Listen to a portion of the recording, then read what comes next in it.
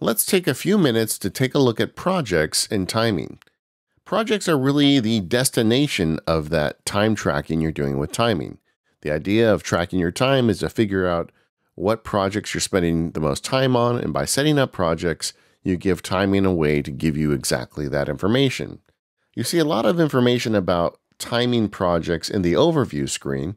In the right pane on the upper quadrant, you'll see a list of time spent per project by hour, and you can see all these colors will coordinate to specific projects on your list. Uh, also, in that lower pane, you can see the projects and tasks and a nice pie chart. I really like this view. It allows me, as the day goes forward, to see if I'm getting the balance of my time right between the various things I'm working on. Now let's talk about organizing and creating projects. You do that in the Review tab for timing, and you'll see a list of your projects right here in this left pane, and you can see the current assignment of time between those projects. To begin with, you can just organize these projects by tapping and holding and dragging them. So I'm going to move the Office project down to below writing. You can create sub-projects simply by dragging it uh, into another project. For instance, if Office is a sub-project of development, I'm going to just drag it in on top of development like that. You let go and you can see now it's a sub project and development's turned into a folder.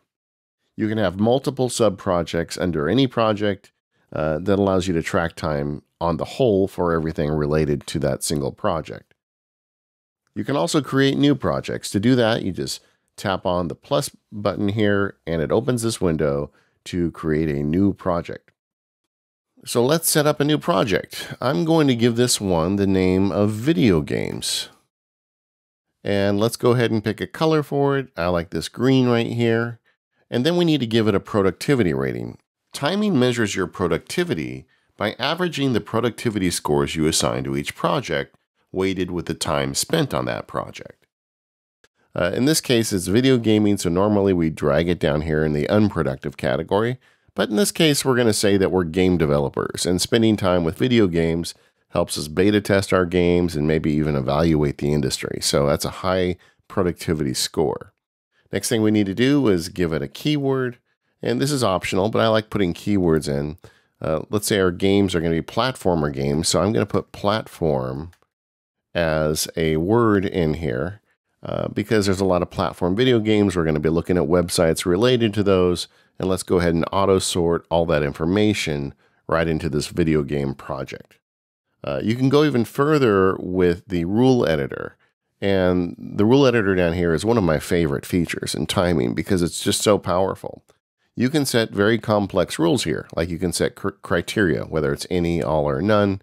In this case, we're going to select all because I want both rules I'm going to create to apply before the rule kicks in. Number one is it has a keyword platform and uh, it's on the website of, let's say, Nintendo.com. So now we have a rule that's going to look for the keyword platform and time you spend on Nintendo.com. And if it satisfies both of those criteria, because we checked all, then it's going to add it to the video game. And that is really useful. So I'll go ahead now and save that project. You can do it right here with this button or hit Command Return. And now we've got video games here.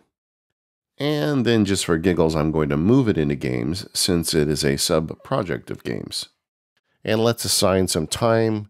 Let's say that we spent some time on YouTube studying games on YouTube, so I'll put that there. And also we spent some time researching it on the web.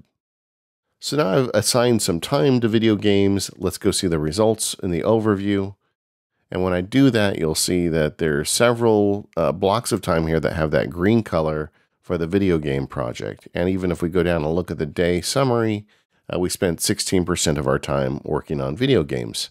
Projects are really the big payoff for timing. Spend some time setting them up exactly how you want, get those rules installed so timing can automatically categorize it for you, and then you can really reap the rewards of having automatic time tracking with timing.